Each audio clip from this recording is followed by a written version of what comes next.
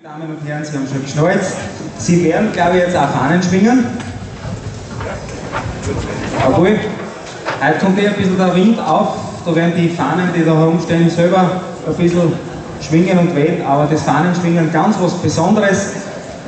Es ist jetzt genug Platz da auch noch, bevor die großen Menschenmassen dann wieder auf die Plätze strömen. Und jetzt gute Unterhaltung mit den Fahnenschwingern der Volkstanzgruppe Bad Gams.